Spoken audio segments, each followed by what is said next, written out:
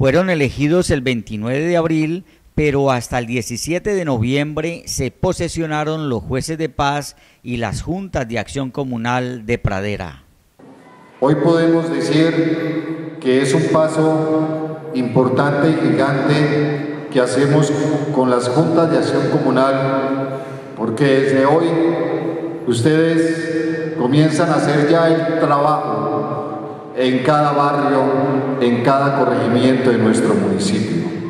Voy a trabajar por la circunscripción 2, donde me corresponden 14 barrios.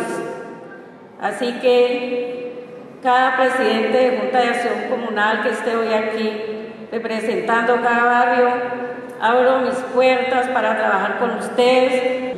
Los jueces de paz son los llamados a entrar a conciliar todos los inconvenientes que sean conciliables.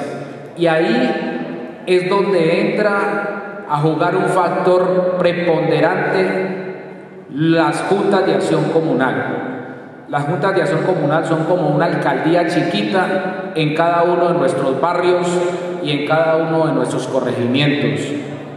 Son los llamados a darse cuenta de la problemática que tiene cada uno de sus sectores y que de la mejor manera, de una manera organizada, podamos hacérselo saber a las primeras autoridades como es el alcalde municipal, el consejo municipal y sus funcionarios.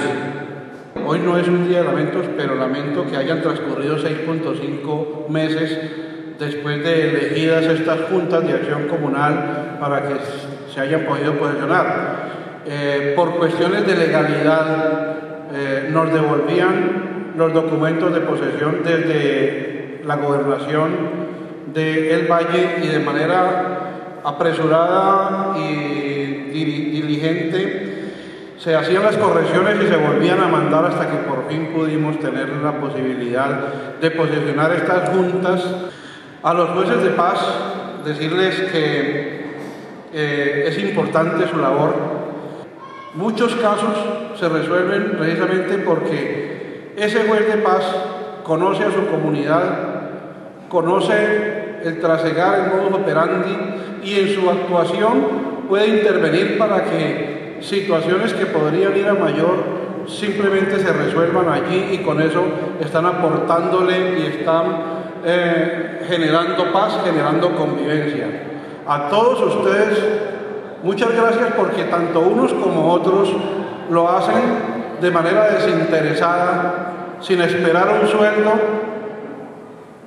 No me resta más que felicitarlos, agradecerles y decirles que cuenten con una administración amiga, que de cualquier orden, de cualquier orientación política, siempre van a tener el apoyo del gabinete y de la administración, porque aquí se trata de trabajar es por un municipio que hoy está muy golpeado, pero que durante toda su historia los pradereños hemos demostrado que somos capaces de sobrepasar todas las adversidades que se nos hayan presentado y salir adelante con un municipio que seguramente bien administrado y bien coadministrado por ustedes va a ser un municipio ejemplo en Colombia.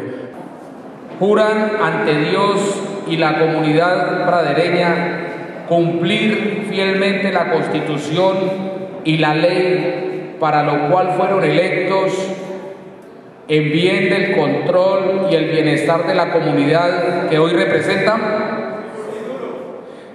Si así lo hiciere, si Dios y la patria os lo premien, si no, Él y la patria os lo demandan. Felicitaciones, un aplauso por favor.